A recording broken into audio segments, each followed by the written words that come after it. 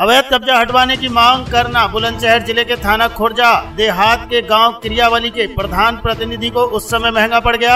जब शिकायत करने के बाद उन पर भूमाफियाओं ने जानलेवा हमला करके उन्हें गंभीर रूप से घायल कर दिया। योगी राज में हुई इस घटना से क्षेत्र में दहशत का माहौल है। कुछ लोगों का कहना था, जब ग्राम प्रधान ही सुरक्षित नहीं है तो आम आदमी की सुरक्षा पर अब सवाल खड़े होना लाजमी है। इस घटना के बाद पीड़ित ने दबंग भूमाफियाओं के खिलाफ खुर्जा देहात थाने में मुकदमा पंजीकृत कराने के लिए तहरीर दे दी है, जिसमें कहा गया है कि राजकुमार पुत्र यदुवीर सिंह, साहब सिंह पुत्र सत्य कुमार सतीश कुमार पुत्र रेशम पाल राहुल पुत्र राजकुमार गाँव के बाहर करीब तीन बजे लाठी, डंडे और धारदार हथियारों के साथ लाइसेंसी बंदूक लेकर उनके पास आ गए, जिन्होंने उन पर हमला कर दिया। इस हमले में वो गंभीर रूप से घायल हो गए। मांग की गई है कि हमलावरों के खिलाफ सख्त कानूनी कार्यवाही की जाए। तो वहीं घटना को लेकर अखिल भारतीय प्रधान संगठन में भी खासा रोष व्याप्त है, क्योंकि प्रधान के प्रतिनिधि धर्मेंद्र सिंह अखिल भारतीय प्रधान संगठन के प्रदेश महामंत्री भी हैं। राष्ट्रीय और प्रदेश संगठन के पदाधिकारियों का कहना है